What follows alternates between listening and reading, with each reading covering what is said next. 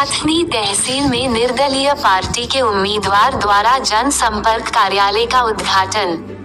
लोकसभा चुनाव में दो बड़े पार्टियों को टक्कर देने के लिए चिकोडी लोकसभा चुनाव में रिटायर्ड आईएएस अधिकारी शंभू कल्लोलकर का दबदबा बढ़ता जा रहा है।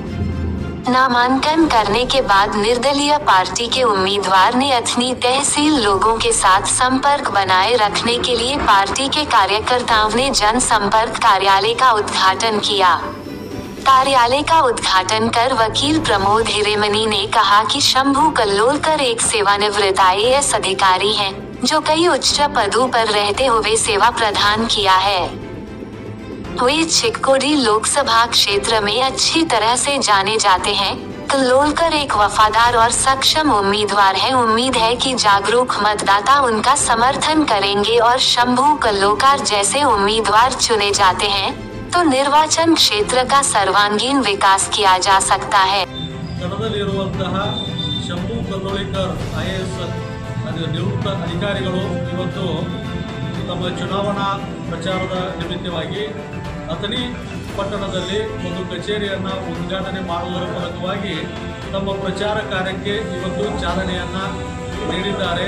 ನಾವು ಒಂದು ಸಂದೇಶ ಏನು ಹೇಳ್ತೀವಪ್ಪ ಅಂದರೆ ಈ ಚಿಕ್ಕೋಡಿ ಲೋಕಸಭಾ ಕ್ಷೇತ್ರದ ಎಲ್ಲ ಮತದಾರರಿಗೆ ಒಬ್ಬ ವಿದ್ಯಾವಂತರು ಭಾರತದ ಅತ್ಯಂತ ಕಠಿಣ ಪರೀಕ್ಷೆಯಾದಂಥ ಯು ಪಿ ಎಸ್ ಸಿ ಪರೀಕ್ಷೆಯನ್ನು ತೇರ್ಗಡೆ ಮಾಡಿ ಅನೇಕ ರಾಜ್ಯಗಳಲ್ಲಿ ಮೂವತ್ತು, ಮೂವತ್ತೆರಡು ವರ್ಷಗಳವರೆಗೆ ಕಾರ್ಯವನ್ನು ನಿರ್ವಹಿಸಿ ಭಾರತದ ಅತ್ಯಂತ ಉನ್ನತವಾದಂಥ ಅಡಿಷನಲ್ ಸೆಕ್ರೆಟರಿ ಅನ್ನುವಂಥ ಹುದ್ದೆಯನ್ನು ನಿಭಾಯಿಸಿ ಮತ್ತು ಅನೇಕ ಇಲಾಖೆಗಳಲ್ಲಿ ಸಾಕಷ್ಟು ಕೆಲಸವನ್ನು ಮಾಡಿ ಅನುಭವವನ್ನು ಪಡೆದಂತಹ ಒಬ್ಬ ಧೀಮಂತ ದಲಿತ ಒಬ್ಬ ನಾಯಕರು ಇವತ್ತು ಚುನಾವಣೆಯಲ್ಲಿ ಸ್ಪರ್ಧಿಸಿದ್ದು.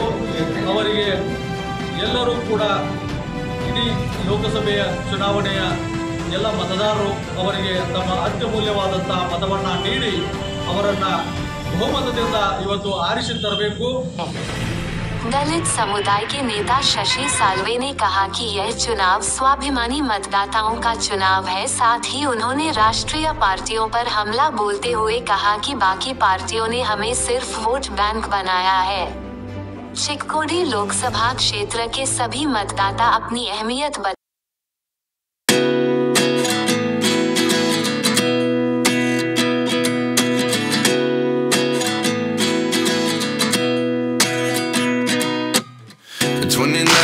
find myself wondering uh, what did happen to the last 10. I ran away with my life, fast forward, never turn back again.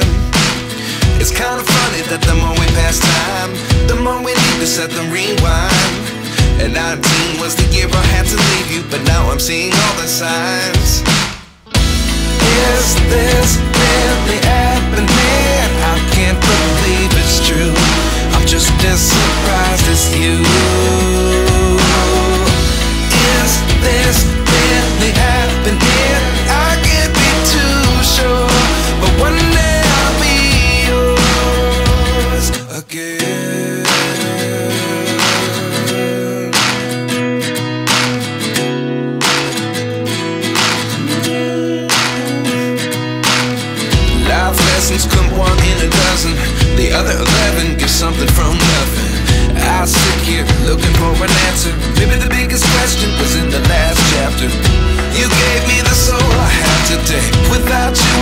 could have moved away. But now I see what you teach. I do believe